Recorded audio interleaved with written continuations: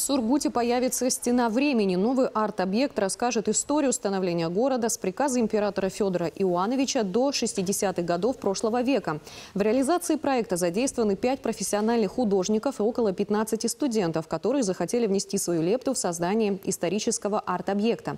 «Стена времени» войдет в пешеходный маршрут «Сургутский Кремль», который ляжет по всем историческим местам города. Молодые художники изобразили порядка 20 картин на стене гаражного комплекса.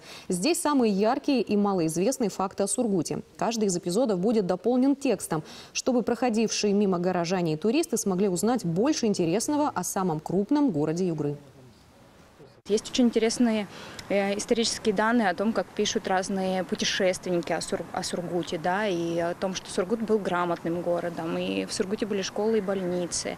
То есть мы-то чаще всего привыкли ассоциировать Сургут с нефтяниками и ханты, манси, да, то есть с культурой коренных народов Севера.